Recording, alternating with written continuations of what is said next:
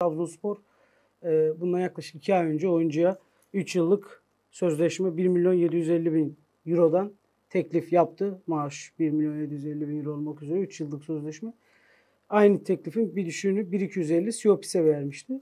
Siopis e, 10 15 gün içerisinde dönüp kulübe e, kalmak istemediğini söyledi ve ayrıldı. Aradan geçen 2 aylık süre olmasına rağmen Bakasetas'tan Trabzonspor'a herhangi bir dönüş olmadı. Ve benim öğrendiğim bilgiye göre de Trabzonspor Bakasetas için yeni bir teklif yapmayacak.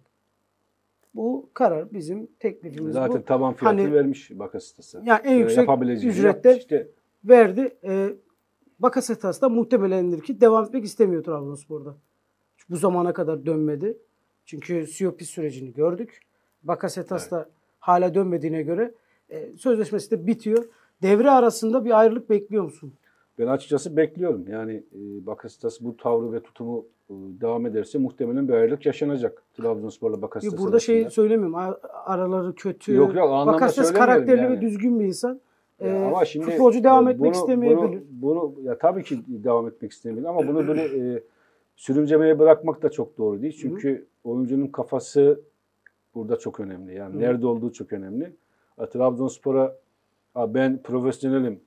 Sezon sonu gelir gider ayrılırım. Ben futbolumu oynamaya devam ederim mi diye düşünüyor. Yoksa Trabzonspor benim beklediğim rakamlara çıkmadı mı diye düşünüyor. Ya, bu da var tabii ki yani. İki taraflı bakmak gerekiyor bu olaya. Ama e, Trabzonspor çıkabileceği rakamlara çıkmış. Çok iyi bir rakam. Yani e, verebileceği rakamları vermiş. E, bana Di- göre çok bunun da üstesine çıkmasının Diyelim ki abi e, Trabzonspor 5 maç üst üste kazandı ve form yakaladı. E, Bakasetas'a döndü ben devam etmek istiyorum. Tamam ya Trabzonspor zaten bir teklifte bulunmuş. Hı hı. Yani eğer o teklifi kabul edecekse zaten Trabzonspor bir gün onunla anlaşmak istiyor.